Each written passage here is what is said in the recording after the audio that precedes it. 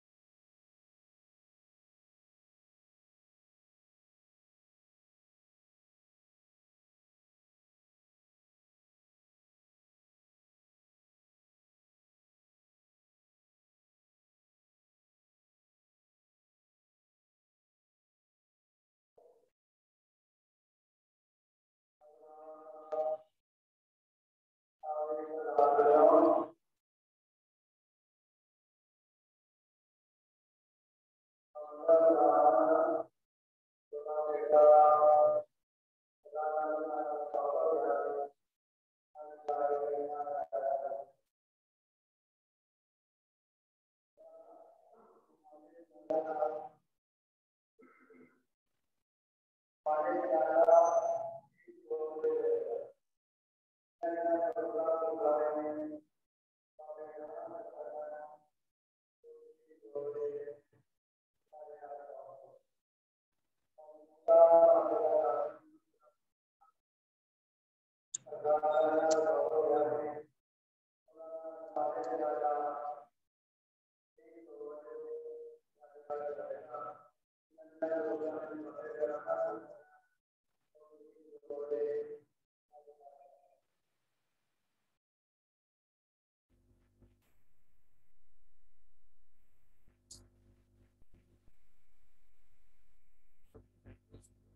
Sir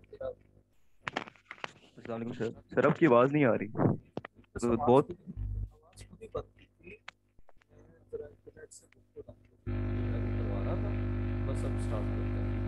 अब आ रही है सर बहुत पीछे से नॉइज़ आ रहा है। अब जरा देखें अब ठीक है। अब जी सर अब ठीक है। जी सर अब ठीक हो। ओके जी शुरू करते हैं। नेक्स्ट हमारा जो टॉपिक है चैप्टर नंबर थ्री हमने शुरू किया हुआ था। चैप्टर नंबर थ्री में पहला टॉपिक ही कंप्यूटर सिक्योरिटी वाला हमने टॉपिक शुरू किया था।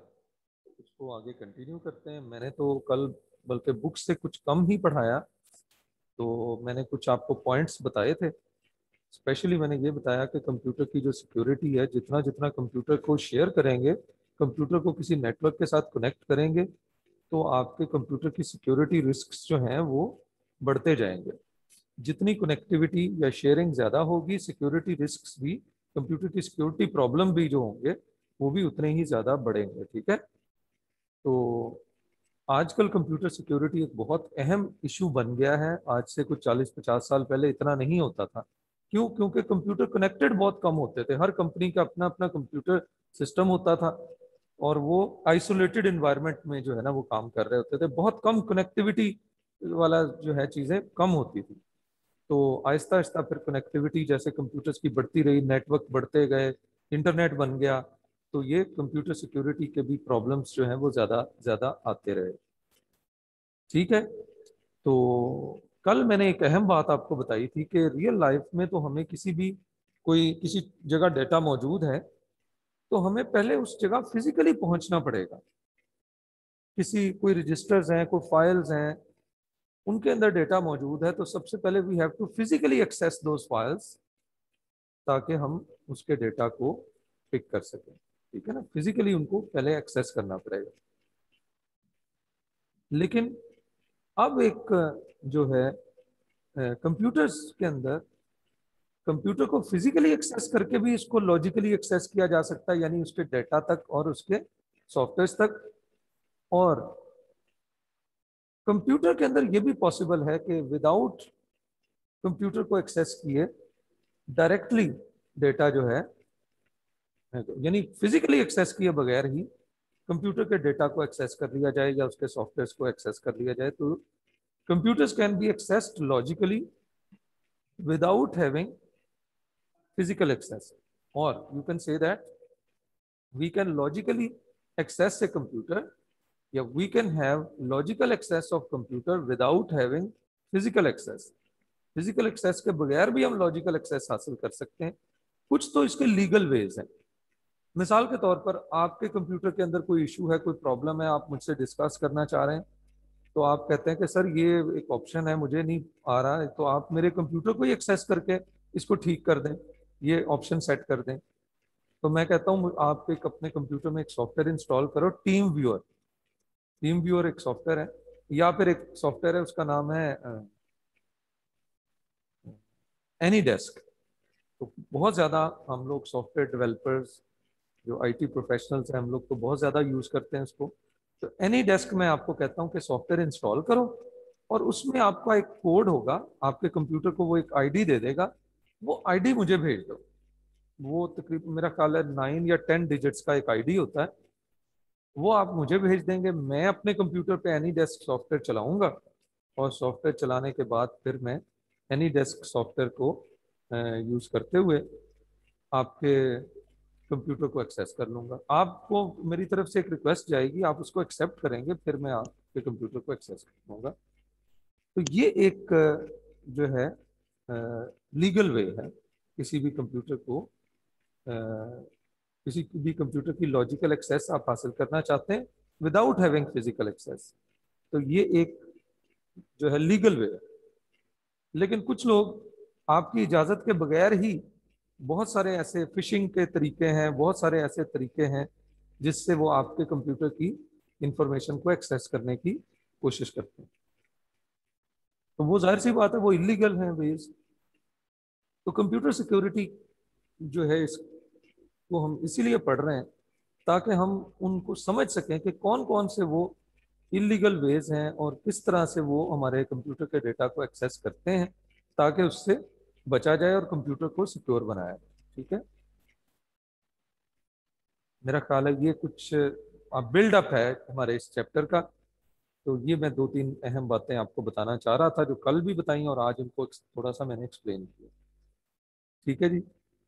Computer security incorporates the protection of computer system and the data that they store और access given the wide spread use of computer the security is a critical priority in the modern world लो जी, यहाँ पे जो पहली बात हमें ये पता चली, क्योंकि भाई कंप्यूटर का यूज़ बहुत ज़्यादा हो गया कंप्यूटर का रोल हमारे कामों में बहुत ज़्यादा बढ़ गया तो इसलिए अब कंप्यूटर की सिक्योरिटी भी बहुत अहम जो है क्रिटिकल हो गई क्रिटिकल प्रायोरिटी होगी businesses businesses must take computer security seriously अब लोगों ने इसको सीरियसली यानी ये 90s में जाके लोगों ने इसको बड़ा सीरियसली लेना शुरू कर लिया। ठीक है? कंप्यूटर की सिक्योरिटी को बड़ा सीरियसली लेना शुरू कर दिया। पहले इतने, देखें, ज़ाहिर सी बात है सीरियस तभी लेंगे ना, पहले ज़्यादा कोई कंप्यूटर सिक्योरिटी के प्रॉब्लम ही नहीं आते थे एटीज तक, बहुत कम थे। तो एटीज के बाद जैसे जैसे इंटरनेट का ग्रोइंग यूज़ शुरू हो गया, या इंटरनेट का यूज़ जो है वो जैसे जैसे बढ़ा तो वैसे वैसे कंप्यूटर सिक्योरिटी के प्रॉब्लम्स भी बढ़े। वायरसेस हैकिंग के इश्यूज़ बहुत आना शुरू हो गया मतलब जैसे इंटरनेट का यूजेज बढ़ा तो फिर लोगों ने फिर इसको ज़्यादा सीरियसली लेना शुरू कर दिया, ठीक है? In order to take in order to enhance the confidence of stakeholder, in order to support critical business processes and protect business information तो कंपनीज़ ने बिज़नेस इंफॉर्मेशन को प्रोटेक्ट करने के लिए अपने जो स्टेक होल्डर्स हैं, उनका कॉन्फिडेंस बहाल रखने के लिए, बढ़ाने के लिए अपने कंप्यूटर्स के सिस्टम्स के जो बिज़नेस प्रोसेसेस हैं, उनको सही तरह से चलाने के लिए कंप्यूटर्स को की सिक्योरिटी पे बड़ा एफर्ट करना शुरू कर दी। और, बाकायदा अब तो जो है, वो काफ़ी ज़्यादा मतलब इंफॉर्मेशन सिक्योरिटी के बंदे हर अच्छी कंपनी के अंदर ज़रूर होते हैं। पहले होता था कि बस जो आईटी मैनेजर है, वही इंफॉर्मेशन सिक्योरिटी ऑफिसर भी है। मतलब एक ही बंदा थोड़ा सा बस एक्स्ट्रा ये वाला रोल भी प्ले कर रहा होता था। लेकिन आजकल जो अच्छी कंपनीज़ हैं, बड़ी कंपनीज़ हैं, उनके अंदर इंफॉर्मेशन सिक्योरिटी ऑफिसर्स ये बहुत ही एक क्रिटिकल जो है जॉब होती है और इसके लिए बड़ा वो जो है वो बंदे रखे होते हैं उन्होंने। ठीक है जी? इंफॉर्मेशन सिक्योरिटी से रिलेटेड ना? तो बाकायदा इसके अंदर अब आजकल जो है डिग्रीज लोग कर रहे हैं कंप्यूटिंग के अंदर मतलब इंफॉर्मेशन सिक्योरिटी की स्पेशली स्पेशलाइजेशन करते हैं। तो रोल जो है, पहले इस पैराग्राफ में ये इसी के बारे में बताया कि रोल जो है वो बढ़ गया। दूसरा पैराग्राफ भी इसमें बहुत इंपॉर्टेंट एक बात जो है यहाँ पे बताई गई है। ये मैं कहता हूँ कि इस पैराग्राफ की मेन जो बात है, एक कंप्यूटर सिक्योरिटी के लिए देखें, दो एस्पेक्ट्स हैं। एक है blend of computer security involve a blend of technical and user input तो दो पॉइंट्स यहाँ पे बताए हैं, इनको मद्देनजर रखें। टेक्निकल एंड यूज़र इनपुट यानी कंप्यूटर्स को सिक्योर करने के लिए हमें बहुत सारे टेक्निकल ऑप्शंस को भी अप्लाई करना पड़ेगा। मतलब बहुत सारे टेक्निकल जो है सॉफ्टवेयर है, कोई ऐसा सिक्योरिटी सॉफ्टवेयर है, वो इंस्टॉल करना पड़ेगा। कोई सिक्योरिटी इक्विपमेंट्स जो है, वो लगानी पड़ेंगी। तो ये है टेक्निकल ऑप्शंस। और यूज़र इनपुट्स। और हमें एक तरह से यूज़र की अवेयरनेस को भी बढ़ाना पड़ेगा। यूज़र्स को ट्रेनिंग देना पड़ेगी। मिसाल के तौर पर हमारी कंपनी में जो लोग काम कर रहे हैं जो डेटा एंट्री ऑपरेटर हैं जो एंड यूज़र्स हैं ना एक तो एंड यूज़र्स के कंप्यूटर्स के अंदर हमें वो स्पेशल सॉफ्टवेयर इंस्टॉल करने पड़ेंगे जो कि कंप्यूटर्स को सिक्योर करें। ठीक है जी? और आ, हमें जो है वो इक्विपमेंट्स जो है वो ऐसी यूज़ करनी चाहिए होंगी लगाना पड़ेंगी जो कि जिनको हैक करना कंपैरेटिवली ज़रा मुश्किल हो, यानी comparatively more secure equipments software technical options वो हमें यूज़ करने पड़ेंगे। टेक्निकल एक्सपर्ट्स रखने पड़ेंगे सिक्योरिटी को बढ़ाने के लिए, ठीक है? ये तो करना पड़ेगा। लेकिन दूसरी तरफ़, जिन यूज़र्स के डेटा को सिक्योर करना है, उन यूज़र्स को भी थोड़ा सा अवेयरनेस देनी होगी कि भाई, आपने इन इन जो है गाइडलाइंस को फॉलो करना है। अगर आप इनको फॉलो करें तो आपके कंप्यूटर के डाटा लॉस होने के चांसेस ही कम हो जाएँगे। आपने अपने डाटा का बैकअप लेना है। आपने जब अपने कंप्यूटर को छोड़कर जाना है, एक तो आपने अपने कंप्यूटर पर पासवर्ड लगाना है। अगर आप थोड़ी सी ब्रेक दो चार मिनट के लिए कंप्यूटर से उठकर जाते हैं तो कंप्यूटर को ओपन नहीं छोड़ के जाना इसको कंप्यूटर के अंदर एक कमांड है विंडो एल दबा दें। तो वो कंप्यूटर की स्क्रीन लॉक हो जाती है। जब तक पासवर्ड ना दें, उस वक्त तक वो ओपन नहीं होती। तो इस तरह की चीज़ें, उनको भी बतानी है जो एंड यूज़र्स हैं। तो यूज़र अवेयरनेस जो है यूज़र का जिस जिस बंदे के डेटा को हमने बचाना है टेक्निकल ऑप्शंस अप्लाई करके, उस बंदे का खुद भी अवेयर होना जो है, वो बड़ा ज़रूरी है। तो ये दो पॉइंट बड़े अहम है। टेक्निकल एंड यूज़र इनपुट यानी टेक्निकल ऑप्शंस भी हमें अप्लाई करने पड़ेंगे और यूज़र्स को भी क्या करना पड़ेगा? ट्रेन करना पड़ेगा अवेयरनेस देनी पड़ेगी सो so दैट कि वो यूज़र बेहतर तरीके से काम कर सके। ठीक है जी?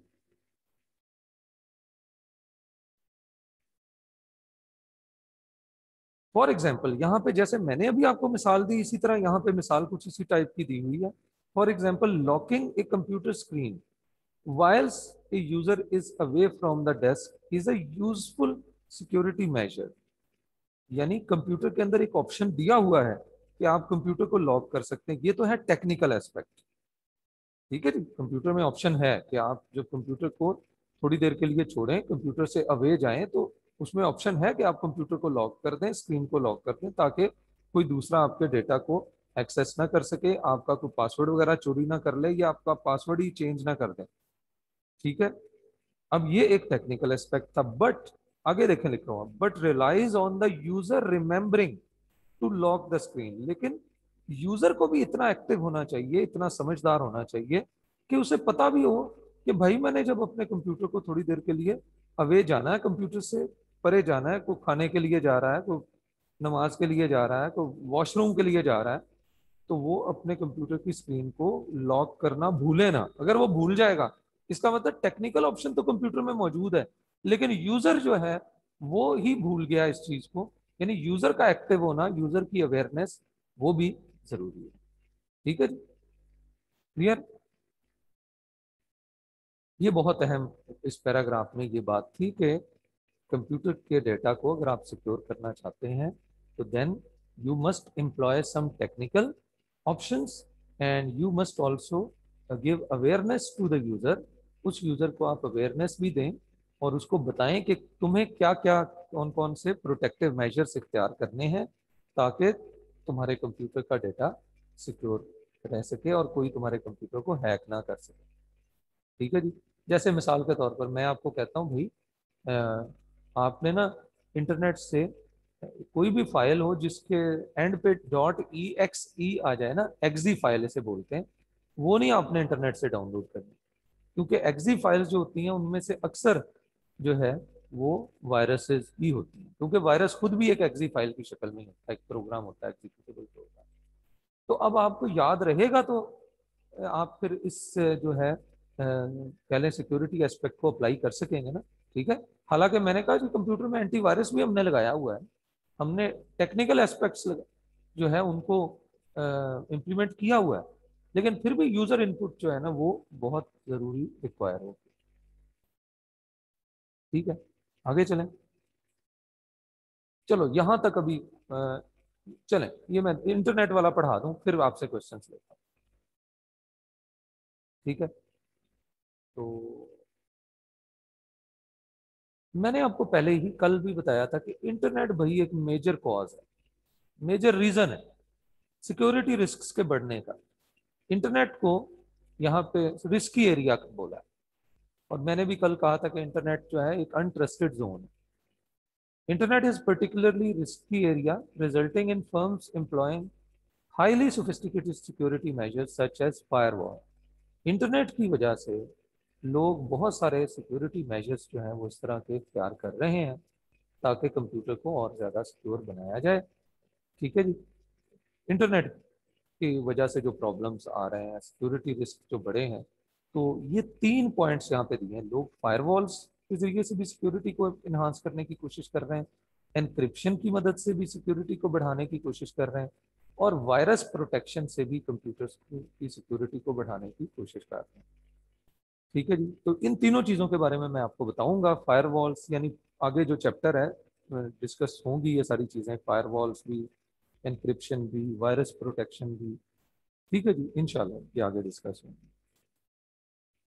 तो अब देखते हैं कि क्या, किस तरह के प्रॉब्लम्स आम तौर पर जो है, आ रहे हैं और कैसे लोग जो इंटरनेट के अंदर जो कुछ लोग हैं, जो लोगों के कंप्यूटर्स को हैक कर लेते हैं और फिर उससे फिर वो प्रॉब्लम क्रिएट करते हैं तो ये अभी हम देखेंगे।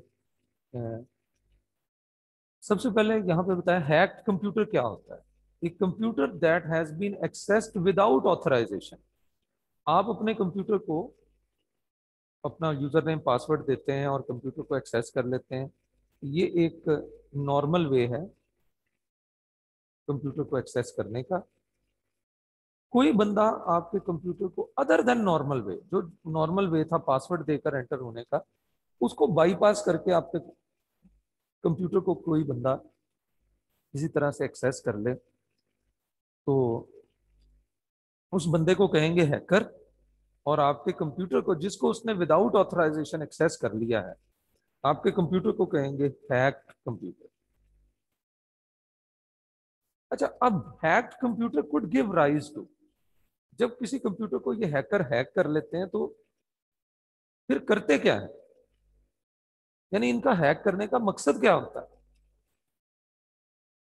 रिकॉर्डेड की स्टोक्स एंड स्टोलन पासवर्ड अच्छा जी, ये अब आठ, नौ पॉइंट्स हैं, इनको अच्छी तरह से समझना है। एक तो ये क्या करते हैं की स्टोक्स को रिकॉर्ड करने की कोशिश करते हैं। जब किसी के कंप्यूटर को एक्सेस कर लेते हैं तो जो जो वो बंदा टाइप कर रहा होता है, उसको एक्सेस करने की कोशिश करते हैं कि वो क्या टाइप कर रहा है। की स्ट्रोक्स को रीड करने की कोशिश करते हैं और उसके पासवर्ड चोरी करने की कोशिश करते हैं। ज़ाहिर सी बात है, वो बंदा किसी वेबसाइट पे जाके पासवर्ड लगाता है फेसबुक पे, कहीं और। तो उसको फिर ये रिकॉर्ड करने की कोशिश करते हैं, उसके पासवर्ड वगैरह को। ठीक है जी? की स्ट्रोक्स को रिकॉर्ड करने की कोशिश करते हैं। ठीक है जी? उसके बाद spam unwanted and phishing attempt to elicit confidential information इसके अलावा ये दो अलग अलग चीज़ें हैं स्पैम भी मैं आपको बताता हूँ और फिशिंग भी बताता हूँ। स्पैम क्या है? फिर ये क्या करते हैं? जब आप किसी के कंप्यूटर को हैक कर लेते हैं तो अनवांटेड इंफॉर्मेशन कुछ लोग मतलब किसी कंपनी की पब्लिसिटी करे जा रहे हैं बार बार स्क्रीन पे हमें एक मैसेज आया जा रहा है तो ये अनवांटेड जो मैसेज होता है, कोई भी आपको मोबाइल पे अनवांटेड मैसेज आ जाए अनवांटेड ईमेल आ जाए आपको, किसी अननोन सोर्स से तो उसे कहेंगे स्पैम ठीक है जी? अनवांटेड ईमेल मैसेज इंफॉर्मेशन जिसकी आपको कोई ज़रूरत नहीं, लेकिन ऐसे ही कोई आपको भेजे जा रहा है बगैर आपकी इजाज़त के। तो इसे बोलते हैं स्पैम बाकायदा हमारे जो है, इसके बाकायदा लॉज हैं। हमारे मुल्क में भी बाकायदा इसका लॉ है। जो ई गवर्नेंस लॉ है या ई मेरा मेरा ख्याल इलेक्ट्रॉनिक रेगुलेशन लॉ कुछ इस टाइप का है। तो उसके अंदर बकायदा ये इसकी सजा है कि अगर कोई आपको विदाउट आपके कंसेंट के कोई मैसेज करे या कॉल करे, आप उसकी रिपोर्ट कर सकते हैं और बाकायदा उसको सजा है इसके ऊपर। लेकिन हमें इसकी अवेयरनेस नहीं है इतनी ज़्यादा। तो बहरहाल जो है, ये एक मतलब ऑफेंस है, ये एक जो है अनलॉफुल बात है स्पैम करना। ठीक है जी? तो स्पैमिंग स्पैमिंग क्या है जी?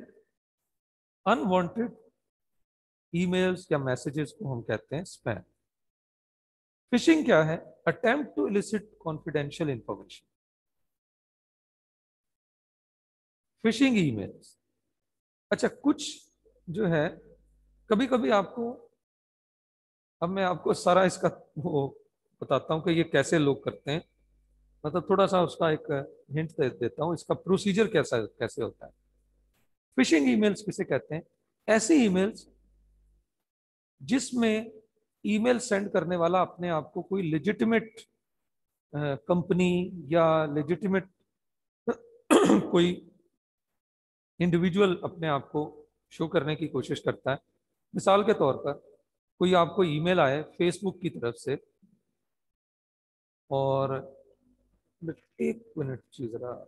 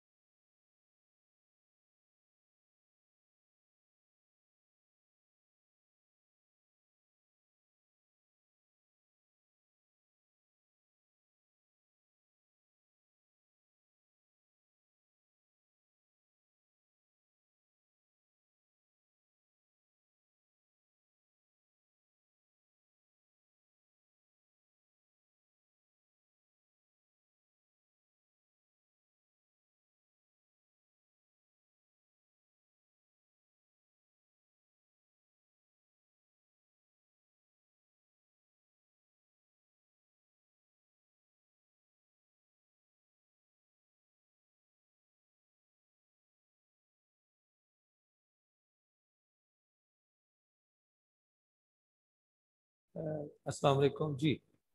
फिशिंग वाला टॉपिक पढ़ रहे थे। फिशिंग और स्पैमिंग के बारे में मैंने अभी आपको बताया। तो आमतौर पर ये जो फिशिंग अटेम्प्ट है, ये लोग आपको ईमेल करते हैं।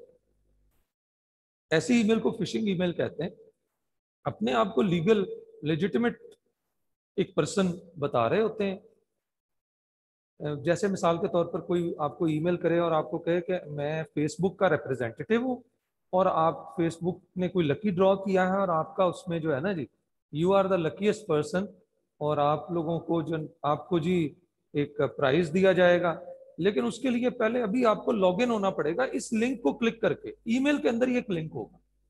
अच्छा अब असल में ये आपको कुछ धोखा दे के आपकी कॉन्फिडेंशियल इंफॉर्मेशन हासिल करना चाह रहे होते हैं। ये कहते हैं कि जी, अभी आपको फेसबुक पे लॉग इन होके क्लेम करना पड़ेगा अपना वो जो प्राइज है। तो आम बंदा कहता है अच्छा चलो यार क्लेम कर लेते हैं, कोई मसला नहीं। आप जैसे ही उस लिंक को क्लिक करते हैं, आपके सामने बिल्कुल फेसबुक जैसे ही पेज आ जाता है। लेकिन वो फेसबुक का नहीं होता। वो ये फिशिंग कर लुक उसकी बिल्कुल फेसबुक जैसी होगी। लेकिन अगर आप उसका वो यूआरएल पढ़े ना एड्रेस जो ऊपर होता है, वो होगा Facebook dot X Y Z या Facebook dot new website dot com तो वो एग्जैक्टली फेसबुक डॉट कॉम नहीं होगा। तो उसमें ये गड़बड़ करते हैं, इस तरह के, ये असल में सब डोमेन वगैरह बना के और इस तरह की चीज़ें करके ना, या फेसबुक किस तरह से होगा? F A double C E B double O K यानी एग्जैक्टली फेसबुक नहीं होगा, बल्कि कुछ डिफरेंट होगा। तो इस तरह करके ये आपका करने की कोशिश करते हैं। ठीक है जी?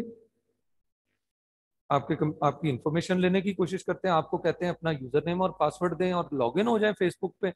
अब असल में आप फेसबुक पे लॉगिन नहीं हो रहे, आप उनको यूज़र नेम और पासवर्ड दे रहे हैं और बस जैसे ही आप वो लॉगिन का बटन दबाते हैं, ना फेसबुक खुलती है, ना कुछ और खुलता है, उनके पास इंफॉर्मेशन चले जाती है और दैट्स ऑल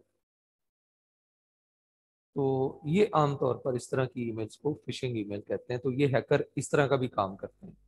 आपके कंप्यूटर को एक्सेस कर लेते हैं। एक्सेस करने के बाद आपके जो है वो, आपका ईमेल वगैरह इनको पता चल जाता है। आपको फिर इस तरह की फिशिंग ईमेल्स जो है ना भेजना शुरू कर देते हैं। Harvesting and selling email addresses and password. इसके अलावा ये जिस कंप्यूटर को एक्सेस कर लेते हैं, अब मेरे कंप्यूटर को एक्सेस करेंगे तो मैं कितने लोगों को ईमेल्स करता हूँ तो उन सब के ईमेल एड्रेसेस ये ना उठा लेते हैं मेरे कंप्यूटर से। और फिर उन ईमेल्स को आगे ये सेल करते हैं। सेलिंग ईमेल्स एंड पासवर्ड्स उन ईमेल्स को फिर जो है सेल करते कुछ को तो ये बड़े गलत मकासद के लिए इस्तेमाल करते हैं।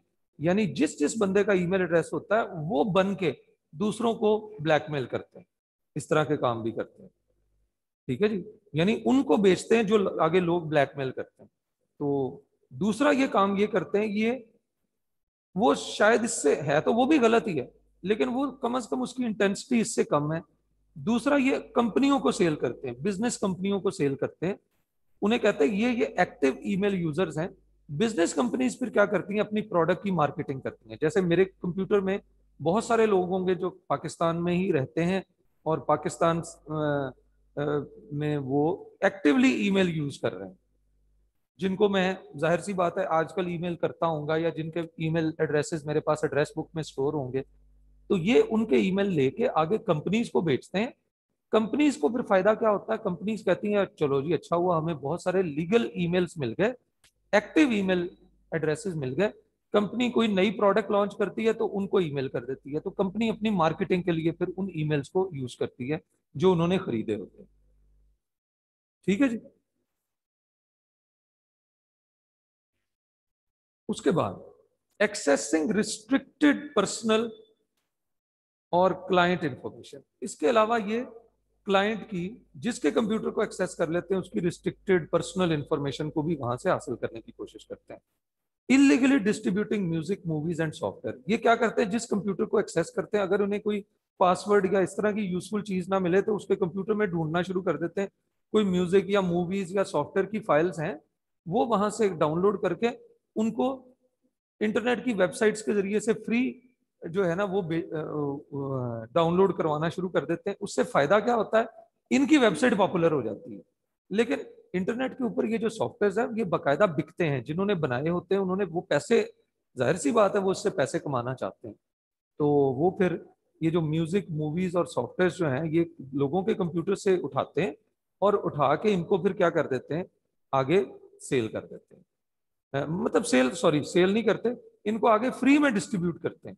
कुछ लोग सेल भी करते हैं इलीगली थोड़े थोड़े पैसों में। कहते हैं ये सॉफ्टवेयर तो पचास हज़ार या जो है हज़ार डॉलर का है, लेकिन हम आपको सिर्फ़ ट्वेंटी डॉलर में दे देंगे। तो इस तरह का काम भी ये करते हैं। इन्फेक्शन ऑफ़ अदर सिस्टम इसके अलावा कभी कभी ये होता है कि जिस कंप्यूटर को ये एक्सेस कर लेते हैं, उसमें से तो इन्हें कुछ नहीं मिलता। कोई यूजफुल चीज़ नहीं मिलती इन्हें। तो ये कहते हैं, चलो हमने इसको तो एक्सेस कर लिया, ये कंप्यूटर और कंप्यूटर्स के साथ भी तो कनेक्टेड होगा। उनको जो है एक्सेस करने की कोशिश करते हैं। तो इस तरह से ये दूसरों के कंप्यूटर्स को इन्फेक्ट करने की कोशिश करते हैं। ठीक है जी? इन्फेक्शन का बायस बनते हैं। Next hiding programs that launch attack on other computer जैसे ये कहा इन्फेक्शन ऑफ़ अदर सिस्टम दूसरा ये ये कर लेते हैं कि जिस कंप्यूटर को ये एक्सेस कर लेते हैं, उसके अंदर कोई सॉफ्टवेयर छुपा देते हैं। कोई जो है वायरस टाइप सॉफ्टवेयर या आप इन्हें ट्रोजन सॉफ्टवेयर भी कह सकते हैं। इस टाइप के सॉफ्टवेयर जो है ना, ये उसमें छुपा देते हैं। ये फिर जो उस कंप्यूटर के अंदर वो जो सॉफ्टवेयर होता है, वो दूसरे कंप्यूटर्स को अटैक करता है आगे। तो यानी ये उसको अपना स्लेव बना लेते हैं और वो आगे दूसरों को स्लेव बनाने की कोशिश करते हैं। Generating large volume of data transfer slowing down the entire system अच्छा ये भी बड़ी एक बात है। कभी कभी ये जिस कंप्यूटर को एक्सेस कर लेते हैं, उसमें से इन्हें कुछ भी नहीं मिलता। तो ये गुस्से में फिर क्या करते कहते यार, अब मिला तो इसमें से कुछ नहीं है। इसको स्लो ही करो। अपने कंप्यूटर से कोई एम फ़ाइल जो है ना, ऐसे ही, कोई फ़ाइल जो हैवी फ़ाइल बड़ी फ़ाइल अपने कंप्यूटर से उस तक भेजना शुरू कर देते हैं या उस कंप्यूटर में जो कोई फ़ाइल हो जिसकी इन्हें ज़रूरत नहीं है, लेकिन वैसे ही उसको ट्रांसफ़र अपने कंप्यूटर पे कर रहे होते हैं, जिससे, जिस कंप्यूटर को इन्होंने एक्सेस किया होता है, उसकी स्पीड जो है वो स्लो हो जाती है, इंटरनेट स्पीड स्लो हो जाती है। तो ये भी एक एक तरह से ये बदला ले रहे होते हैं कि इसमें कुछ भी नहीं है तो चलो इसका स्पीड ही डाउन करो इसको। ठीक है जी? तो इस तरह के प्रॉब्लम्स जो है क्रिएट होते हैं जब किसी पर्सन का कंप्यूटर एक्स, जो है हैकर्स हैक कर लेते हैं। जी अब जरा क्वेश्चनिंग कर ले। यहाँ तक जो भी क्वेश्चंस आपके माइंड में अभी आ रहे हैं we are at the mid of the lecture जी कोई भी क्वेश्चन अभी आप पूछना चाहते हैं पूछ लें। यहाँ तक कोई भी बात अगर समझ नहीं आई।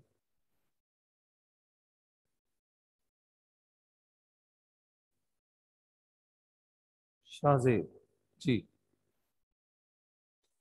सर वालेकुम अस्सलाम। सर ये point infection of other systems ये थोड़ा एक बार बता दें और सेकंड लास्ट पॉइंट ये था हाइडिंग वाला। हाँ देखो इन्फेक्शन ऑफ़ अदर सिस्टम ये तो इन्फेक्ट हो ही गया जैसे कोरोना वायरस है।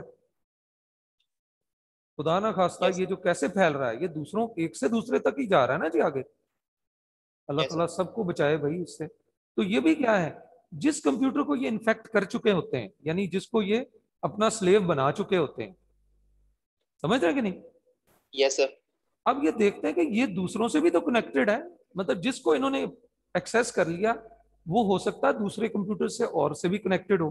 तो ये उनको भी फिर इन्फेक्ट करने की कोशिश करते हैं। ओके यानी जो वायरस सर इन्होंने उस कंप्यूटर में डाल दिया वो आगे ट्रांसफ़र करने की भी कोशिश करते हैं।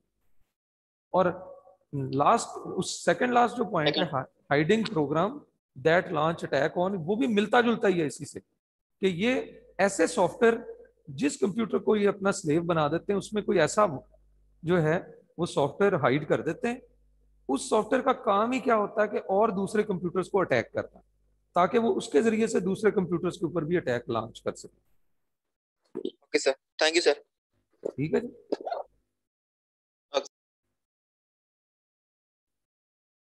जी एनी अदर क्वेश्चन शाहजेब के अलावा कोई? पर्सन कोई क्वेश्चन पूछना चाह रहा है? तलहा। अस्सलाम वालेकुम सर। वालेकुम अस्सलाम सर फायरवॉल्स और ये इंक्रिप्शन और वायरस प्रोटेक्शन के बारे में जरा बता दीजिएगा ये क्या क्या चीज़ें हैं? जी चलो मैं अभी बता देता हूँ मैं डिटेल से भी आगे बताऊँगा। बस अभी फ़िलहाल ये समझें कि फायरवॉल क्या है? दो कंप्यूटर नेटवर्क्स है ना? या आपकी कंपनी का एक कंप्यूटर नेटवर्क है आपने इसको किसी एक्सटर्नल कंप्यूटर नेटवर्क से या इंटरनेट से कनेक्ट करना है। आपकी कंपनी का तो अपना प्राइवेट कंप्यूटर नेटवर्क है ना, जिसमें 50 60 70 कंप्यूटर्स हैं। लेकिन अब आप इस इस नेटवर्क को दूसरे किसी एक्सटर्नल नेटवर्क के साथ या इंटरनेट के साथ कनेक्ट कर रहे हैं तो दरमियान में एक जो डिवाइस भी लगाई जा सकती है, एक कंप्यूटर भी लगाया जा सकता है कि एक कंप्यूटर लगा देते हैं, जो भी डाटा जाएगा वो इसमें से गुजर कर जाएगा। ठीक है जी? उस कंप्यूटर को भी फायरवॉल कहा जा सकता है। और firewall can be a software firewall एक सॉफ्टवेयर भी हो सकता है. सिंपली एक सॉफ्टवेयर हो सकता है जो आप अपने कंप्यूटर पर इंस्टॉल कर लेते हैं. Whenever you want to connect it with external computers और नेटवर्क्स ठीक है? सर ये सिर्फ़ डेटा की चेकिंग करता है? हाँ ये चेकिंग करता है. It's it works like a gatekeeper जिस तरह किसी मतलब हमने गेट कीपर रखा हुआ कॉलेज के बाहर तो वो देख रहा है आने जाने वाले को चेक कर रहा है. Okay sir. दूसरा एनक्रिप्शन एनक्रिप्शन क्या होता है कि जब डाटा एक कंप्यूटर से दूसरे कंप्यूटर तक सेंड किया जाए तो दरमियान में से कोई उस डाटा को ना देख ले तो क्यों ना डाटा को सीक्रेट कोड्स में बदल दिया जाए? और जब जिस तक हमने डाटा पहुंचाना है जब उसके पास पहुँच जाए तो उस सीक्रेट कोड से दोबारा उसको डिक्रिप्ट कर लिया जाए। समझ रहे डाटा को Yes, सीक्रेट कोड्स में बदलना ताकि जो डेटा जब ट्रांसफ़र हो रहा हो तो कोई उसको पत, देख भी ले तो उसे पता ही ना चले कि ये है क्या भाई?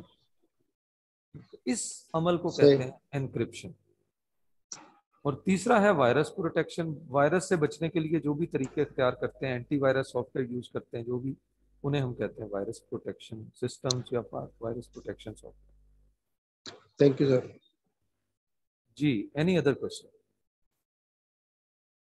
one more एक क्वेश्चन और अभी मैं ले लेता हूँ। आप में से जो जब क्वेश्चन पूछते हैं तो सबकी जरा नॉलेज एनहांस हो जा, हो जाती है उससे। एक नई बात भी पता चल जाती है।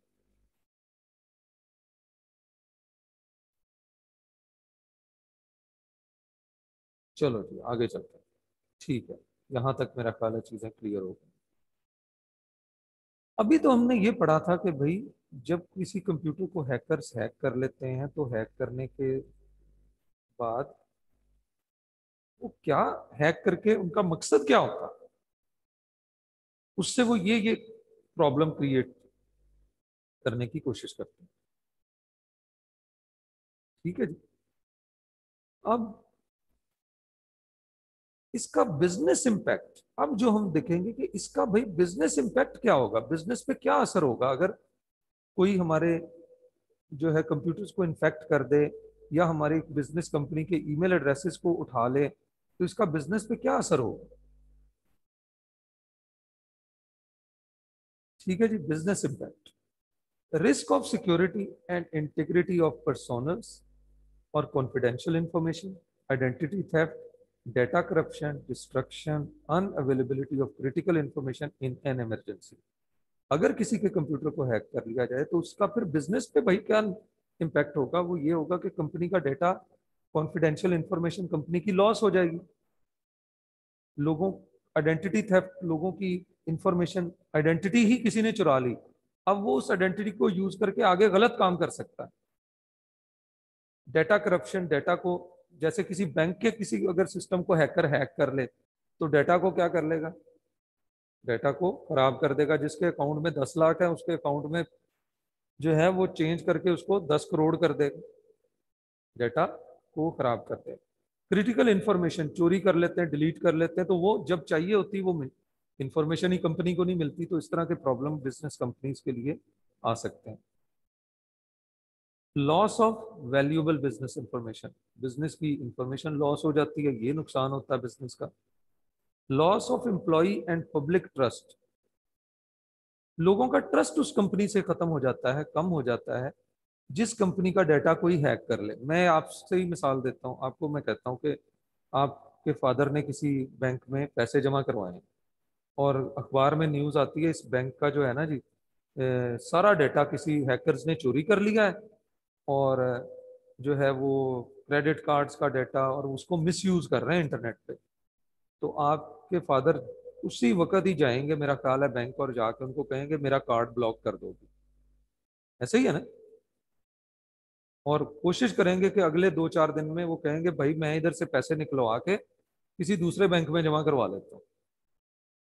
ठीक है? पब्लिक का ट्रस्ट जो है, वो बिज़नेस कंपनीज़ पे इस तरह से जो है, वो कम होता जाता है। इवन यहाँ तक कि जो एम्प्लॉय उस कंपनी में काम कर रहे हैं, उनका ट्रस्ट कम हो जाता है। कंपनीज़ को एम्बेरसमेंट फील करनी पड़ती है एम्बेरसमेंट एडवर्स पब्लिसिटी उनकी नेगेटिव पब्लिसिटी होती है कंपनीज़ की. Media coverage and news report और मीडिया में और न्यूज़ में उनकी बैड पब्लिसिटी होती है. ठीक है जी, ये बिज़नेस के ऊपर एक बड़ा बैड इम्पैक्ट आता है. उसके बाद costly reporting requirement in case of compromise of certain types of personal financial and health information पहले तो समझना पड़ेगा रिपोर्टिंग क्या होती है. आमतौर पर बिज़नेस कंपनीज़ जो हैं, अपने कंप्यूटर सिस्टम में जो भी डाटा स्टोर कर रहे हैं रिकॉर्ड कर रहे हैं, इसका मकसद क्या होता है? इसका मकसद यही होता है कि जब उनको इंफॉर्मेशन वो रिक्वायर हो, उस वक्त उन्हें अपनी रिक्वायर्ड इंफॉर्मेशन आसानी से मिल जाए। ऐसा ही है ना? ठीक है? रिक्वायर्ड इंफॉर्मेशन आसानी से उन्हें मिल जाए, जब उन्हें रिक्वायर तो अब जब रिक्वायर्ड इंफॉर्मेशन उन्हें चाहिए हो तो अगर वो डेटा ही ना मिल रहा हो डेटा डिलीट हो गया हो तो फाइनेंशियल हेल्थ इंफॉर्मेशन क्रिएट करना रिपोर्ट्स क्रिएट करना कितना मुश्किल हो जाएगा टाइम कंज्यूमिंग हो जाएगा कि उन्हें क्या करना पड़ेगा? आमतौर पर बिज़नेस कंपनीज़ ऐसे केस में जब उनका कोई डाटा लॉस हो चुका हो तो उन्होंने जो उसका बैकअप रखा हुआ होगा, यानी उसकी कोई एक्स्ट्रा कॉपी बैकअप बैकअप क्या होता है? Extra copy of data data computer में स्टोर है, उसकी एक एक्स्ट्रा कॉपी भी हमने बना के रखी है। वो किस लिए बना के रखी है? अगर कभी ओरिजिनल डाटा लॉस हो जाए तो हम उस एक्स्ट्रा कॉपी को यूज़ कर सकें। तो उस एक्स्ट्रा कॉपी को भी जो है, जब डाटा क्रिएट करेंगे और उससे रिपोर्ट्स वगैरह बनाएँगे इंफॉर्मेशन क्रिएट करेंगे, ये टाइम भी बहुत ज़्यादा लगेगा और इसमें कॉस्ट भी ज़्यादा लगेगा। खर्च होगी internal disciplinary action up to and including termination of employment as well as possible penalties, prosecution and the potential of sanction. इसके अंदर इस जब कोई किसी कंपनी का जो कंप्यूटर्स हैक हो जाते हैं तो इसका बिज़नेस इम्पैक्ट क्या होता है कि कंपनी को जहाँ जहाँ डाटा लॉस हुआ होता है कंपनीज़ अपने एम्प्लॉयज़ तक को टर्मिनेट कर देती हूँ कि आपका डाटा क्यों लॉस हुआ आपने ये प्रोटेक्टिव मेजर्स क्यों नहीं इख्तियार किए अच्छा इससे दोनों तरफ़ नुकसान होगा, कंपनी को भी नुकसान होगा और जिसकी जॉब जिस खत्म हुई है उसको भी नुकसान होगा। कंपनी को कैसे नुकसान होगा? कंपनी को इस तरह से नुकसान होगा कि कंपनी, ये हो सकता है कि वो बहुत ही एक उस बंदे की अपनी कोई गलती ना हो, लेकिन जो हैकर है उसने ही ऐसे तरीके से डाटा हैक किया हो कि उसके कंप्यूटर का बेचारे का डाटा लॉस हो गया हो और कंपनी को नुकसान ये होगा कि वो हो सकता कंपनी का बड़ा ही लॉयल एम्प्लॉय था और बड़ा इंटेलिजेंट एम्प्लॉय था। कंपनी उसको लॉस कर दे ठीक है जी? और बाकायदा फिर जिन एम्प्लॉयज़ को इस तरह से टर्मिनेट किया जाता है, वो कभी कभी कंपनीज़ पे केस कर देते हैं। और कंपनीज़ को ये भी भुगतने पड़ते हैं लॉ सूट्स भी। ठीक है जी? कानूनी जो मामला हैं, उनको भी देखना फिर पड़ता है। तो इस टाइप के प्रॉब्लम्स भी खड़े हो सकते हैं, अगर किसी भी कंपनी के कंप्यूटर्स का डाटा हैक हो जाए। अभी तक तो हम सारी प्रॉब्लम्स की बातें कर रहे थे कि ये इस तरह से हैकर ये ये काम करते हैं कंप्यूटर को एक्सेस करके और इससे बिज़नेस को ये ये नुकसान हो सकता है बिज़नेस इम्पैक्ट बिज़नेस पे ये जो है वो असर पड़ सकता है। Many businesses will have an internet usages policies अब इसका हल क्या निकालना है?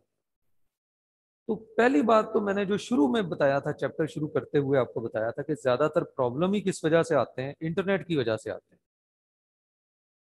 तो पहली बात तो ये है कि इंटरनेट के हवाले से बिज़नेस कंपनीज़ जो है इंटरनेट यूजेज पॉलिसी पहले तो बनाती है कि इंटरनेट को कैसे सेफली यूज़ किया जाए ताकि इंटरनेट की वजह से जो हैकिंग के अटैक्स होते हैं या जो प्रॉब्लम्स आते हैं, वो कम से कम आए। ठीक है? तो एक तो ये जो है पॉलिसीज़ बनाते हैं इंटरनेट यूजेज पॉलिसी उस पॉलिसी में क्या क्या होता है? Limiting internet use to business purpose इसमें लिमिट कर दिया जाता है कि इंटरनेट जो है मतलब कंपनीज़ अपनी पॉलिसी में ये लिख देती हैं कि जो एम्प्लॉयज़ हैं कंपनी में काम कर रहे हैं, वो इंटरनेट को सिर्फ़ बिज़नेस पर्पज के लिए ही इस्तेमाल करें, अपने पर्सनल किसी काम के लिए ना यूज़ करें पर्सनल कोई डाटा ना इंटरनेट से डाउनलोड करें, बल्कि सिर्फ़ बिज़नेस पर्पजेस के लिए यूज़ करें। Notification of ability to track internet usages और कंपनी की इंटरनेट यूजेज पॉलिसीज़ में यह भी लिखा होता है कि कंपनीज़ जो हैं, वो जो भी कंपनी के एम्प्लॉई हैं, जो कंपनी के अंदर इंटरनेट को यूज़ कर रहे हैं, उनकी इंटरनेट यूजेज ट्रैक भी हो रही है। कंपनी उसको चेक भी कर रही है कि वो इंटरनेट में भाई क्या क्या कौन कौन सी साइट्स ओपन कर रहे हैं? कोई जो है, वो कोई मतलब इसके अंदर कोई जो है, ऐसी वेबसाइट्स को तो नहीं यूज़ कर रहे हैं? ऐसे सॉफ्टवेयर तो नहीं इंटरनेट से डाउन डाउनलोड कर रहे हैं जो हार्मफुल हो? तो उनको कंपनी ट्रैक भी कर रही होती है उनके कंप्यूटर्स के ऊपर, वो क्या क्या काम कर रहे हैं? तो कंपनी इसका बताती भी रहती है कि भाई आपका कंप्यूटर ट्रैक हो रहा है, आपका चेक हो रहा है कंप्यूटर और ये कंपनी की पॉलिसी के मुताबिक चेक हो रहा है कि आप क्या कर रहे हैं। प्रोहेबिटिंग एक्सेस एक मिनट बेटा, अजान हो रही है।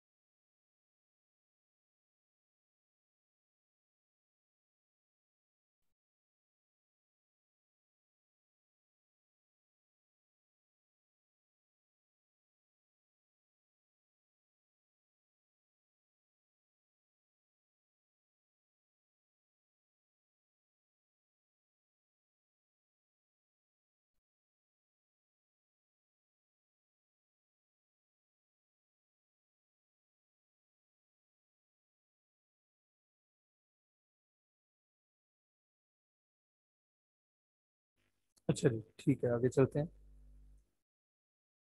Prohibiting access to the sites that are offensive to gender मतलब इस तरह की जो इलीगल वेबसाइट्स हैं ऑब्सीन वेबसाइट्स हैं, जो कि मतलब उन वेबसाइट्स को भी कंपनी जो है वो ब्लॉक कर देती है आमतौर पर कि, ताकि इस टाइप की साइट्स जो हैं वो इंटरनेट के ऊपर ओपन ही ना हो सके।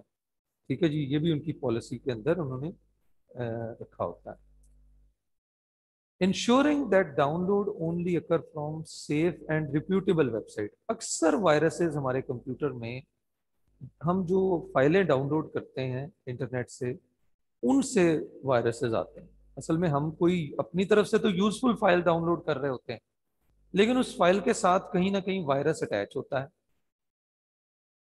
तो कंपनीज़ ने बिज़नेस कंपनीज़ के अंदर जो यूज़र्स होते हैं, उन्होंने कुछ साइट्स का स्पेसिफिकली बताया होता है कि इन साइट से आप, ये ट्रस्टेड वेबसाइट्स हैं, इन साइट से आप सॉफ्टवेयर डाउनलोड कर सकते हैं। इसके अलावा कहीं और से आपने डाउनलोड नहीं करना सॉफ्टवेयर या कोई भी फ़ाइल है कंपनी की अपनी वेबसाइट है, वो कहते हैं, जी, यहाँ से डाउनलोड कर लें। यूनिवर्सिटीज़ कॉलेजेस होते हैं, उन्होंने भी अपनी वेबसाइट के ऊपर जो नेसेसरी सॉफ्टवेयर जो है ना, वो रखे होते हैं। वो डाउनलोड कर सकते हैं। तो इस तरह से ये जो है वो सिस्टम चल रहा होता है। ठीक है? तो उन्होंने मतलब ब्लॉक की होती हैं आमतौर पर बाकी सारी साइट्स और कुछ जो सेफ़ हैं, जहाँ से जो ट्रस्टेड साइट्स हैं, उनको, उन तक एक्सेस दी होती है। मकसद यही होता है कंपनी का, उनकी क्योंकि पॉलिसी है कि डाउनलोड सिर्फ़ सेफ़ और रिप्यूटेबल वेबसाइट से सॉफ्टवेयर वगैरह या कोई भी चीज़ है जो रिक्वायर है कंपनी के अंदर, वो डाउनलोड की जाए। ये मैंने आपको नेक्स्ट पॉइंट पहले भी आपको बताया था भाई, आपको, आपने एग्जीक्यूटेबल फ़ाइल इंटरनेट से डाउनलोड नहीं करनी। Prohibiting downloading executable files as well as pirated music movies और सॉफ्टवेयर और जो चोरी शुदा म्यूज़िक होता है मूवीज़ सॉफ्टवेयर वगैरह होते हैं मतलब ऐसे सॉफ्टवेयर म्यूज़िक या मूवीज़ जिनके लिए पे नहीं किया गया होता, उनको, जिन्होंने वो सॉफ्टवेयर और मूवीज़ वगैरह बनाई हो। ठीक है जी? तो उन्हें पायरेटेड बोला जाता है। यानी जो उनकी इजाज़त के बगैर कॉपी इंटरनेट पे जो है, वो दिए जा रहे हैं। और एग्जीक्यूटेबल फाइल्स को भी जो है ना, वो भी कंपनी की पॉलिसीज़ में लिखा हुआ होता है कि एग्जीक्यूटिबल फाइल्स को डाउनलोड नहीं करना। क्योंकि बहुत ज़्यादा प्रोबेबिलिटी होती है कि एग्जीक्यूटिबल फाइल्स में ही वायरसेस वगैरह होते हैं। क्योंकि वायरस खुद भी एक एग्जीक्यूटिबल फ़ाइल ही होती है। Prohibiting, providing the users business email addresses to limit the likelihood of spam and phishing. इसके अलावा जो यूज़र्स हैं, उनको जो है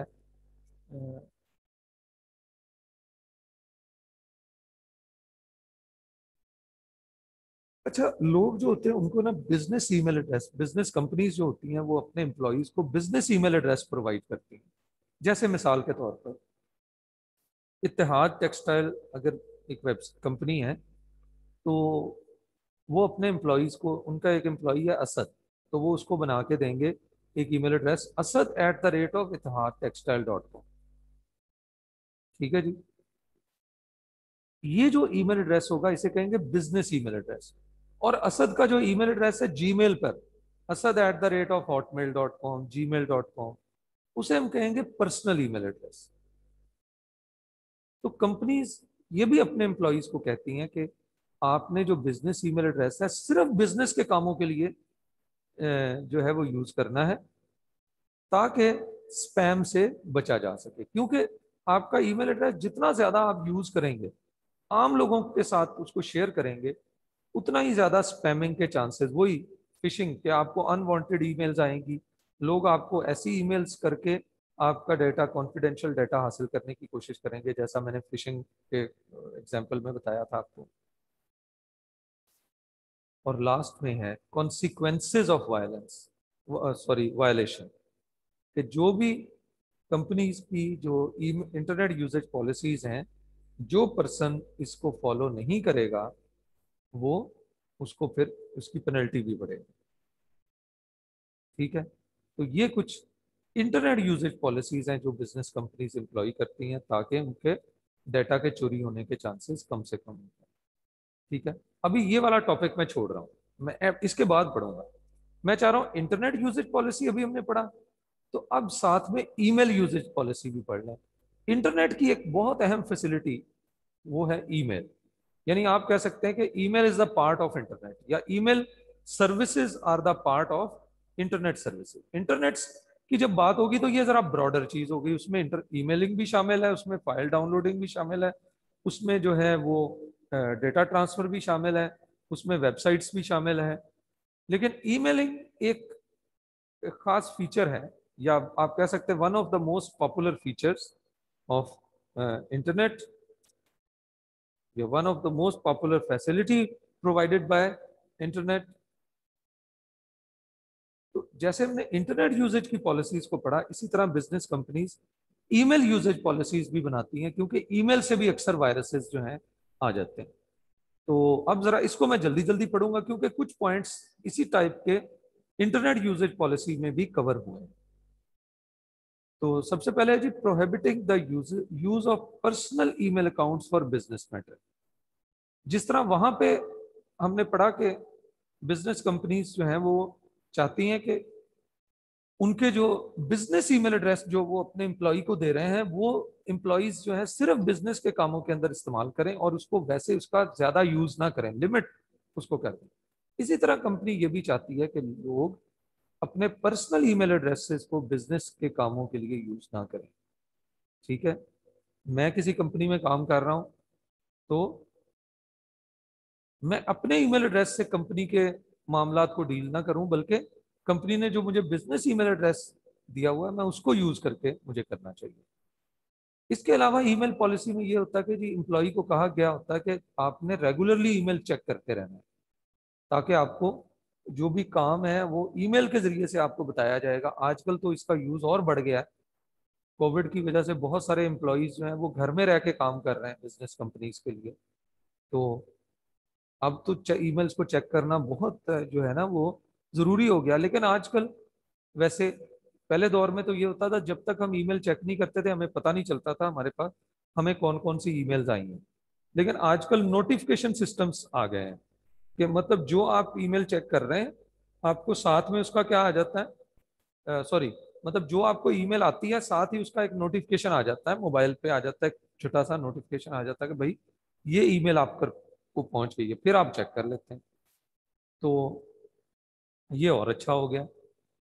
ऑर्गेनाइज ईमेल्स एफिशिएंटली इसके अलावा पॉलिसी ये होती है कि अपनी ईमेल्स को एफिशिएंटली ऑर्गेनाइज करें।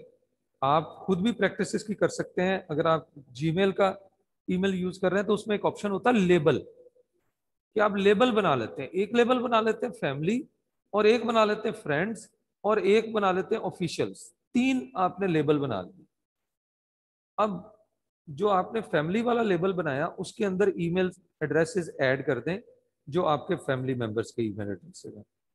फ्रेंड्स में फ्रेंड्स के ईमेल एड्रेसेस ऐड कर दें और थर्ड लेबल जो ऑफिशियल था, उसमें आप जहाँ जॉब कर रहे हैं, काम कर रहे हैं, ठीक है जी? तो उस, उनके ईमेल एड्रेसेस ऐड कर दें। इससे फ़ायदा क्या होगा? आपने अपने वीकेंड है अब आप ऑफ़िस का कोई काम नहीं करना आपने इस वक्त। आप ये देखना चाहते हैं, मेरे फैमिली मेंबर्स की किन किन की मुझे ईमेल्स पिछले दो तीन दिन आपने ईमेल चेक ही नहीं की। तो अब आप देखना चाहते हैं, किन्होंने ईमेल की? आप फैमिली को क्लिक करते हैं तो आपको सिर्फ़ वहाँ वही ईमेल्स नज़र आएँगी फैमिली वाले लेवल में, जिनका, जिन, जो आपके फैमिली मेंबर्स हैं और जिनके आपने फैमिली मेंबर्स के ईमेल्स ऐड किए हुए हैं वहाँ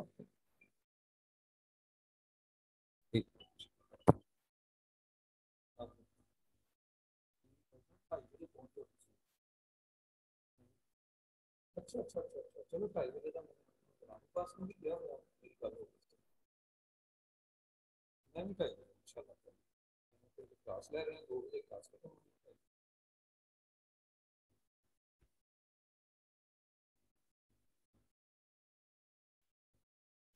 सॉरी अच्छा जी तो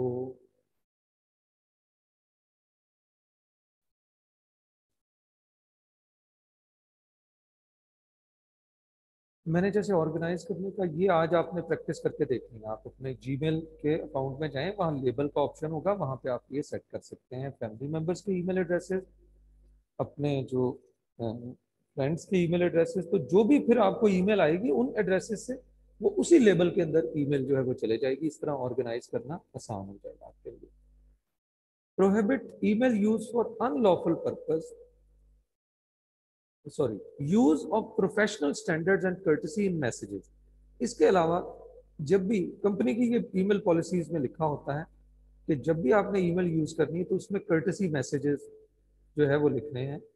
और प्रोफेशनल स्टैंडर्ड्स ईमेल के आपको जो है बिज़नेस कम्युनिकेशन के सर हमारे शाहिद साहब, वो बड़ी अच्छी तरह से बताएँगे कि कैसे स्टार्ट में कर्टसी मैसेज क्या लिखना चाहिए मैस कोई लेटर आपने लिखना है या ईमेल लिखनी है क्लाइंट को तो उसके एंड पे जो है कंक्लूडिंग जो है वो मैसेज क्या होना चाहिए। तो इस तरह के जो है प्रोफेशनल स्टैंडर्ड्स ईमेल के अंदर यूज़ करने चाहिए, ठीक है जी?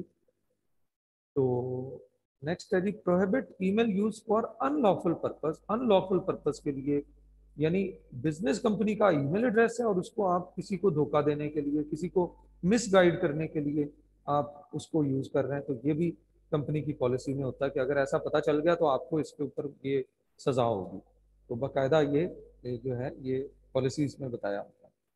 Prohibiting email use outside your firm's policy इसके अलावा कंपनी की जो पॉलिसीज़ हैं, उसके बाहर हमने, यानी पॉलिसीज़ को वायोलेट करके हमने ईमेल को नहीं यूज़ करना।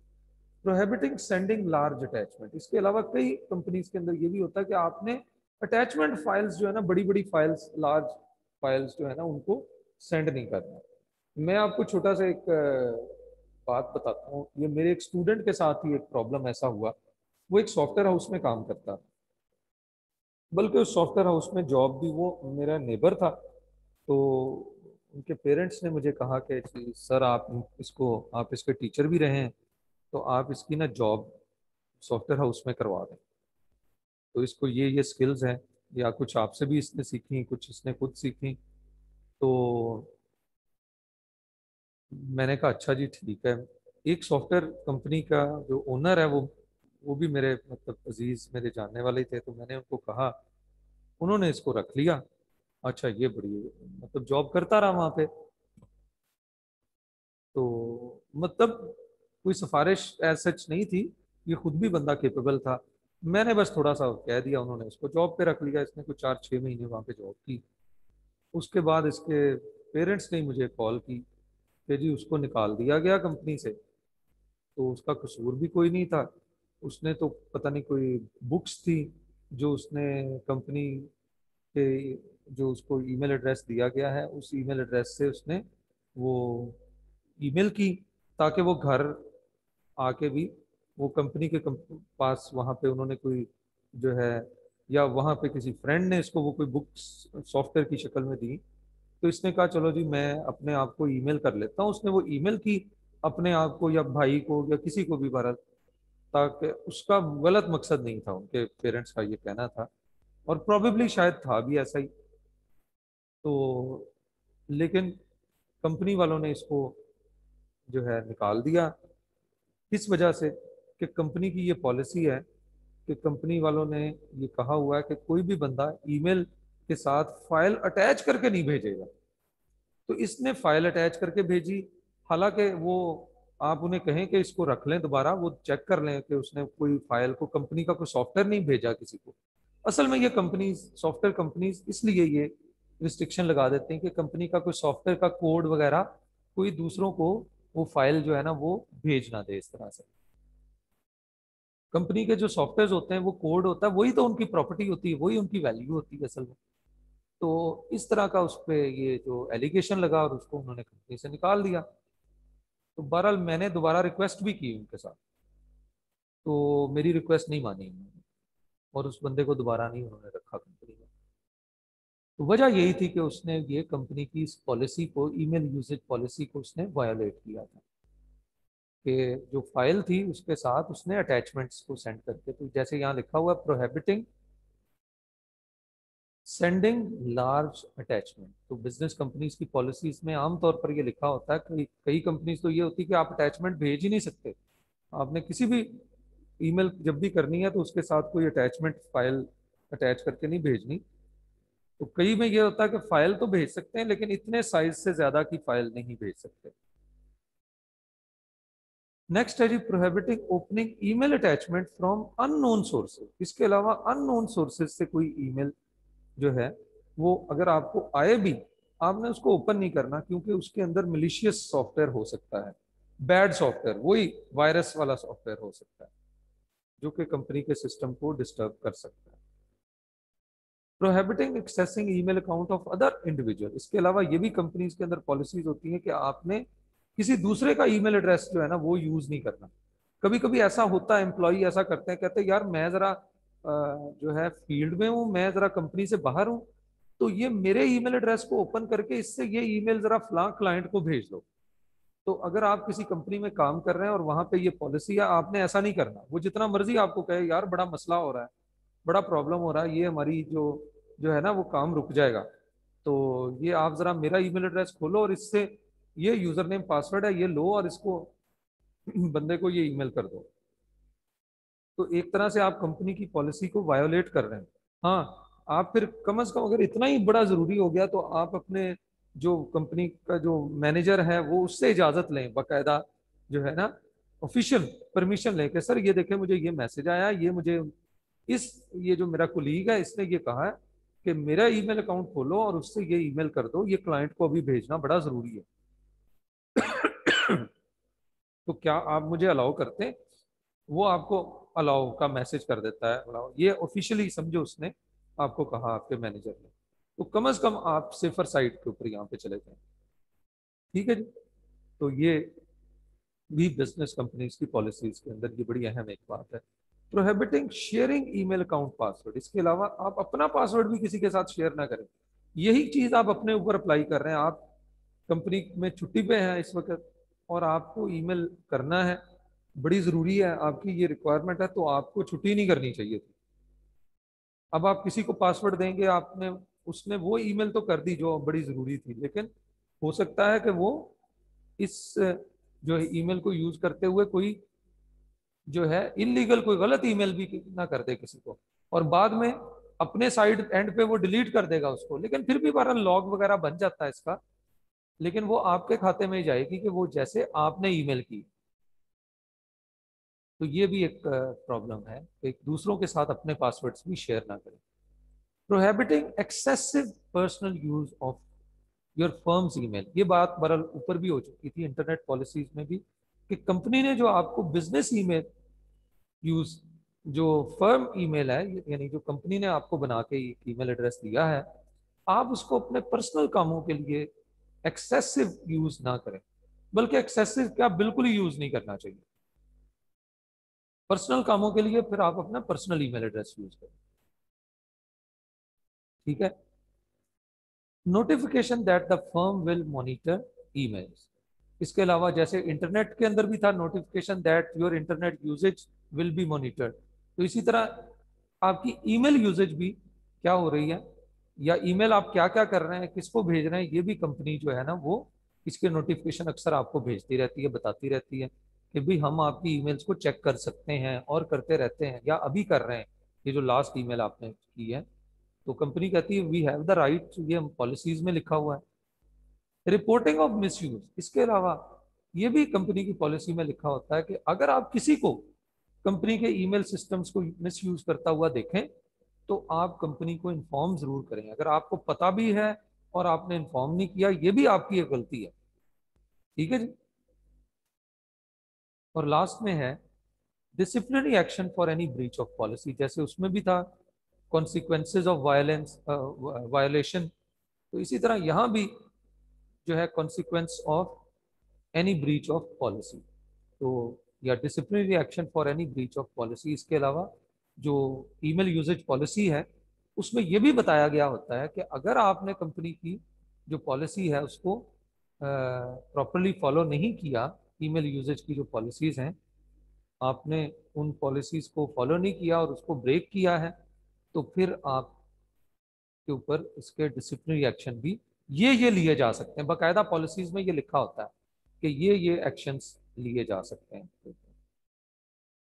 ठीक है जी, चलो, आज के लिए इतना ही काफ़ी है। आज का जो काम पढ़ने का है आपका, आपको जो मैं काम दे रहा हूँ, आज हमने मेनली ये देखा कि हैक करके कंप्यूटर को क्या करते हैं हैकर्स उसका बिज़नेस इम्पैक्ट क्या होता है? और उस बिज़नेस इम्पैक्ट को कम से कम करने के लिए नेगेटिव इम्पैक्ट को कम करने के लिए या ख़त्म करने के लिए इंटरनेट यूजेज पॉलिसीज़ भी बनाई जाती हैं और ईमेल यूजेज पॉलिसीज़ भी बनाई जाती हैं।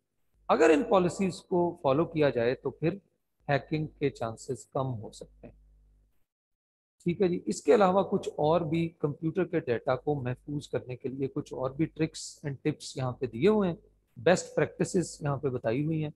इनको भी आपने ज़रा पढ़ना है तो कल हम इसको भी डिस्कस करेंगे। ठीक है जी? चलो, आज के लिए फिर इतना ही काफ़ी है। अभी नेक्स्ट फाइव मिनट्स में आपके क्वेश्चन में लेता हूँ।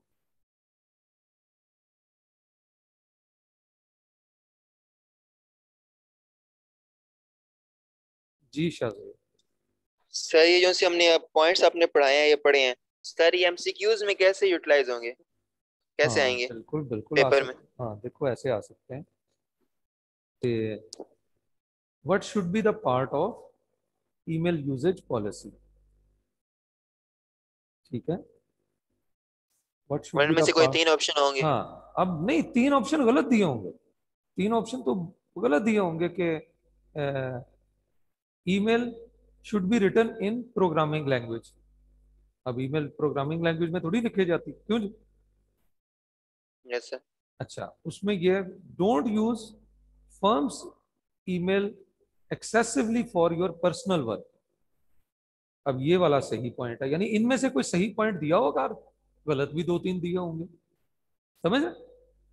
यस सर अच्छा अब इंटरनेट यूजेज पॉलिसी के अंदर बताया कि what should not be the part of internet usage policy. Don't use don't download software from trusted website. हालाँकि होना क्या चाहिए? Always download software from trusted website trusted तो हमने ये वाला पिक करना है। यानी रॉन्ग पिक करना है। कभी कभी सही दिए हुए होते हैं हम उनमें से एक रॉन्ग होता है उसको पिक करना होता है। और कभी कभी सारे रॉन्ग दिए होते हैं एक सही दिया होता है उसको पिक करना होता है। ओके सर इस टाइप का और सर ये नेक्स्ट नेक्स्ट पूछना है वो सर आपसे थोड़ी रिक्वेस्ट थी कि सर ये मंडे का लेक्चर ट्वेल्थ अप्रैल का सॉफ्टवेयर का लेक्चर सर वो दिन नेट का बहुत इशू था और रिकनेक्शन हो रही थी बार बार मीटिंग ऑफ़ हो जाती थी। तो वो वो प्लीज़ आप सर से एक बार नहीं वो कह आप दें उनको अपलोड कर आप उनको कहें सर दो तीन बार बोला है उनको वो अपलोड नहीं करते। मैं कह देता हूँ नहीं नहीं मैं कह देता हूँ वो बिल्कुल आपका वो रिस्पॉन्ड करते हैं। मैं कह देता हूँ। चलो सर मैंने दो तीन बार बोला है उनको। अच्छा ठीक अभी है तक यार। अपलोड नहीं ठीक है इट्स ओके भाई। कह देता ओके सर और कोई बात? बस।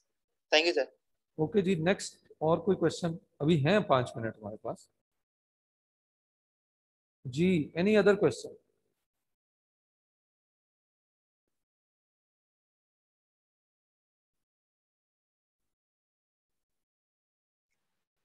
जी। अस्सलाम सर मैं कल लेक्चर ले पाई थी सर। लेक्चर नहीं ले पाई? नाना बू का इंतकाल। ये सर सर नाना का इंतकाल हो गया था मैं वहाँ गई हुई थी और अभी थोड़ी देर पहले मैं घर पे आई हूँ। तो सर कल कल का लेक्चर भी सर से बोलिएगा कि अपलोड कर दें। जी मैं कह रहा हूँ आप लोग ग्रुप में भी मैसेज करते हैं। Thank you so much sir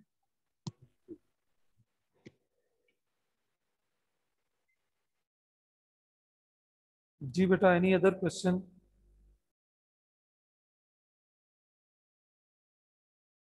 चलो जी, ठीक है, मेरा ख्याल है कि समझ आ गया सब कुछ। ठीक है जी, अल्लाह हाफिज।